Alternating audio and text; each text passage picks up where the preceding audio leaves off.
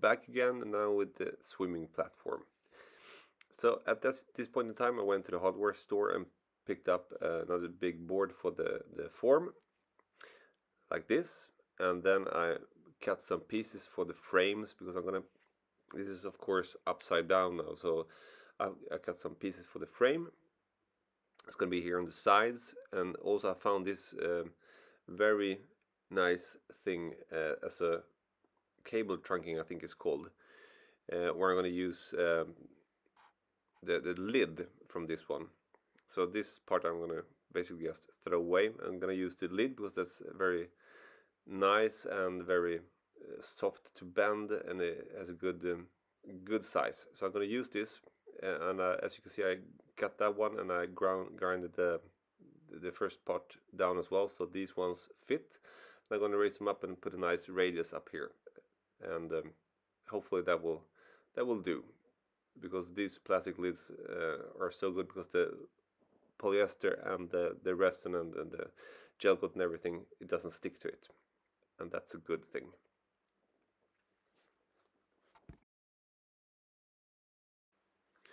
Well now the form is done as you can see here and um, I've started to lay out the cloth.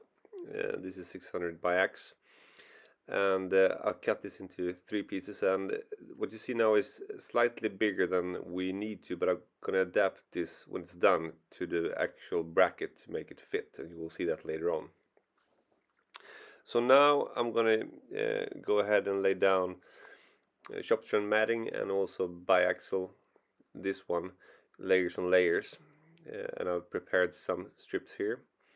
But I'm going to go back and show you here because uh, what I'm going to do is that first of all I put in some some uh, gel coat here two layers so that's done and then I'm going to put in some uh, shop strand matting here just around the corners because it's going to be so much easier to to lay that first and then go over that when that's done with some biaxial on top of that and then again some shop strand and then finally some some uh, biaxial again and then continue working my way around this form. So first of all around the corners all the way around with this one and then the biaxial.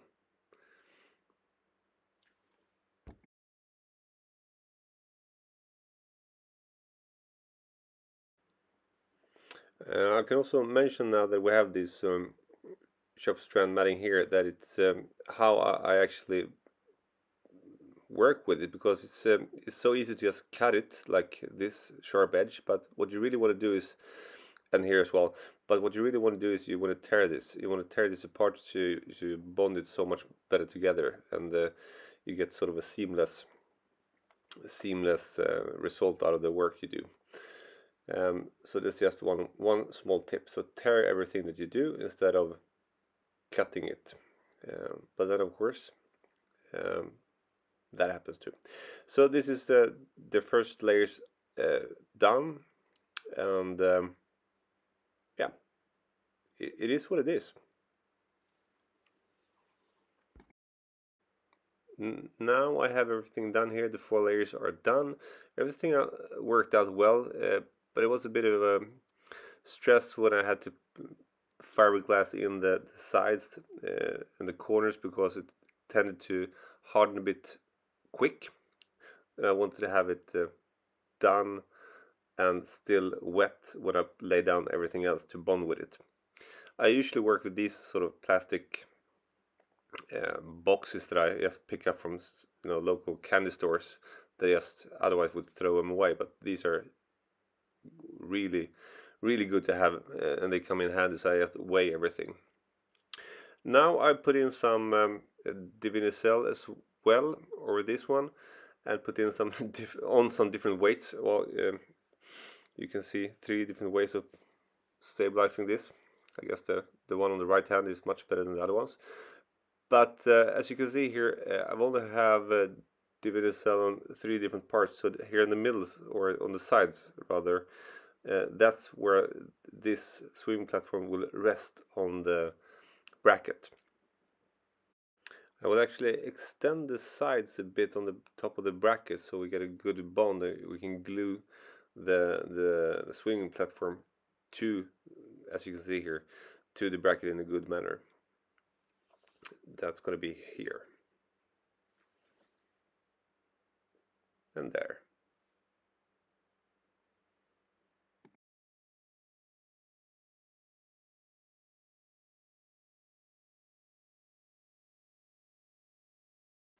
Now we're actually getting to the point where we're trying to attach the bracket to the boat and a lot of measuring is ongoing here but it, it looks fine. So this is the, the starting point and uh, it's um, level in any or in every direction here.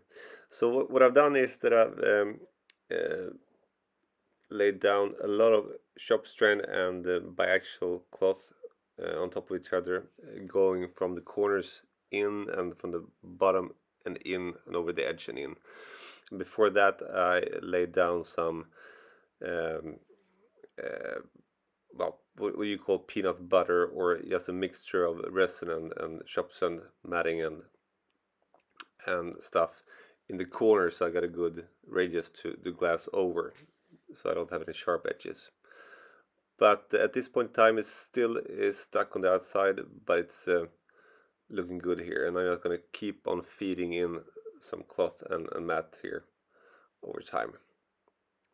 And also I'm going to uh, lay down some really big uh, chunky um, stringers from the stringers in the inside of the boat all the way through into the bracket and attach them in the back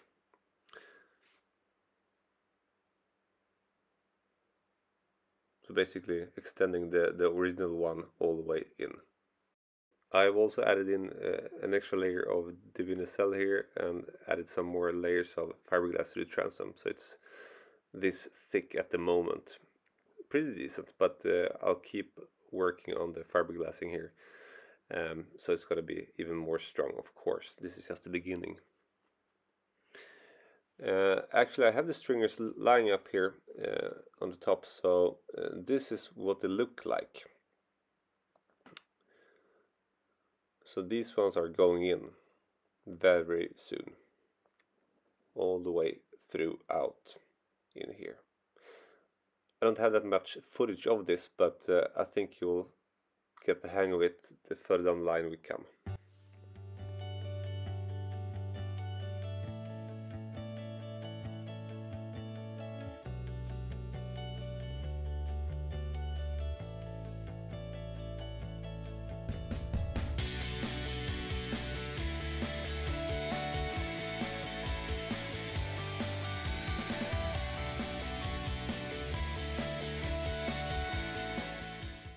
now we've come to a point where I'm actually gonna uh, get the, this part out of the, the mold or the form here.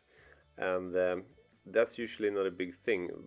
But also when it comes to these small radius here I tend to use uh, some sort of Sikaflex or Tec7 or something that is also some sort of glue which is good because it bonds everything together but it's also hard to get the pieces out of the mold but I think it's worth it as as long as it's not too tricky and too many angles. So in this well it, it works fine. So I'll let you have it. Enjoy the ride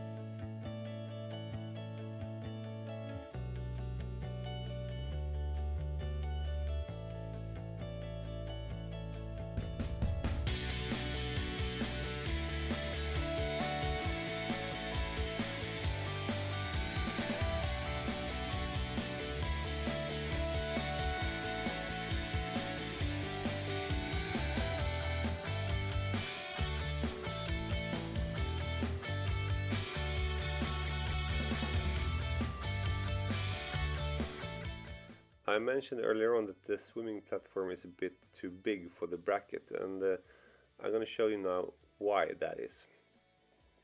But it looks good, it's kind of sturdy and it's, um, it's working fine. So now I just got to fit it into place and then attach it.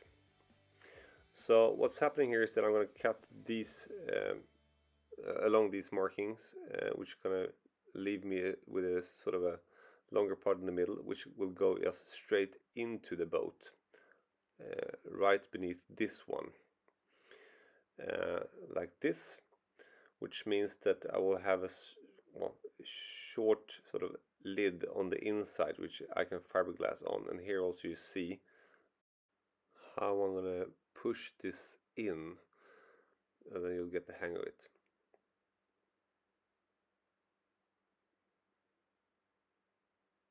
I had to do some trimming, but it, uh, it works fine.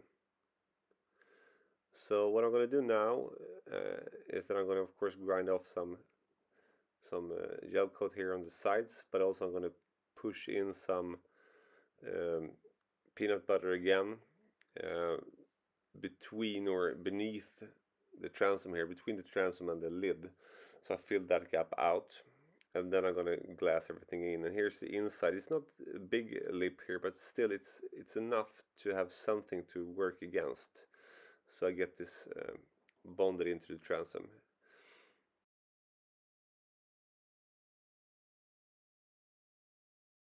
when I got to this point and uh, started looking into how to to attach the, the um, swimming platform I actually found some use of the leftovers from the cable trunking. So I took this part and uh, made some sort of mold form support maybe and made this out of it.